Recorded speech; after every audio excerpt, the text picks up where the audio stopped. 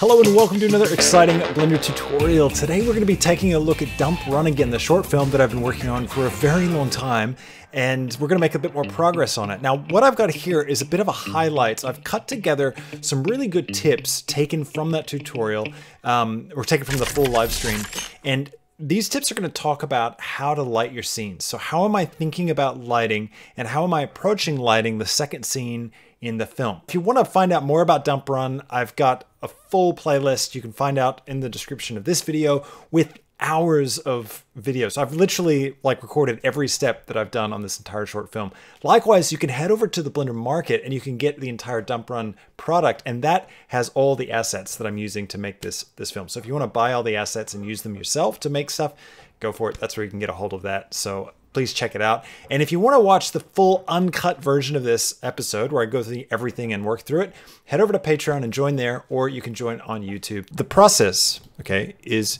to look through your shots um, one by one and think about clarity. Think about how clear the main is the main subject and uh, and the action. And then you want to bring in just enough light to really help that, you know, be visible in a scene like this, especially where it's so dark. And the things that are going to help with that are going to be rim lights. Like we've got a bit of rim on him here, which looks good. Um, but I can see that some of these shots, uh, there's not much separation between him in the background. So you can see there, it's quite dark. So in this case, I want to make sure I bring on the right robot arm. Um, what I like to do is first I'll like shift click and I'll go, so shift, so shift right click to put the 3D cursor, like projecting it onto something. And then grab an area light and bring it over here. And I'm going to turn on the power, brighten it up a bit. Get it off screen maybe. Um, it'd be cool if this was like the red, you know, of the... I might turn the volume off because that's going to help me get closer with it. Um, so I'll turn that volume off and then I might shift you to duplicate and bring another one down. Actually, I'll turn the volume for that one up just so I can see where it is. Um, I'm going to move it back. Set global. And I think X is what's going to move it back. There we go. So yeah, you can see I'm getting that light on him. Turn that volume down. I'm going to try rotating just to see what kind of results. It's nice getting it a little bit on the, the conveyor belt there. I also want to have a look at that robot. The first pickup here. See, he's so dim, right? So we really need something else. I'm going to shift click here uh, to put my cursor. I'll just jump over here so you can actually see me do it. So shift clicking, you see how it projects the 3D cursor onto things. And I can go for a shift A light and I'll go for another uh, area light and I'll point it at the robot. And this one I'm going to do a contrasting blue I'm going to turn it right up. I'll try a thousand turn the volume off. Just going to double that to 2000.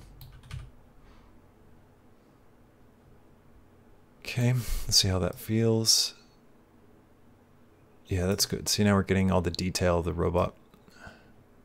I'm still not sure that I'm getting enough from these guys, though. Where's those? Where's the new light we just added? Oh, here it is. All right. That's probably why. This needs to come around a little bit better. I might take this up to 2000 as well. And I'm going to try and reposition it. I wonder if we should underlight like that. That could be that could be good. Yeah, it's hard because this is a really important moment where it looms over him. looks pretty good. It'd be nice to really separate the background a bit for that moment. Like when he launches. Let's try that. I'm going to put my cursor there, Shift A, grab a point light, and I'm going to just put it behind them, like over here, right? And then with this point light, I'm going to turn it up like 5,000 or something crazy. So we can have a lot of volumetrics there. Um, and I'll give it a contrasting, probably the blue color. And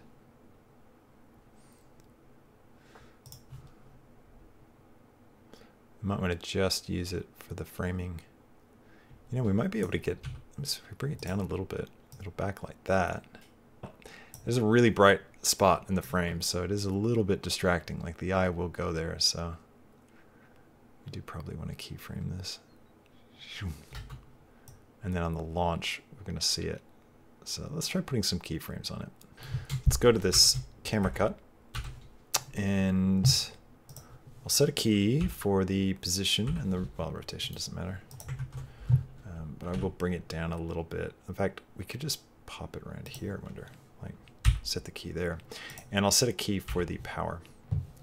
And we'll just turn it off. So I'll go back one frame and just nuke it. So now it's off.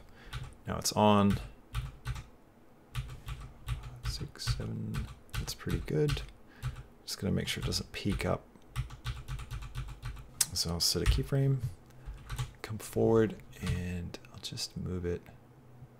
Let's just put it in the perfect spot, like right. Up he goes.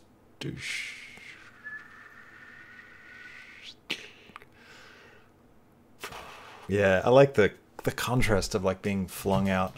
I almost feel like we need to have a little bit more blue here. And now let's go touch bluer. I mean, it will really affect the scene, won't it? But I feel like that's nice. Well, thanks for watching. That's it. And I really hope you enjoyed it and learned a few cool things and cool tips. Again, if you want to watch the full uncut version, go check out Patreon or join here on YouTube and get access to that. Thanks so much for watching. I will catch you in the next tutorial. Until then, have a fantastic week. See ya.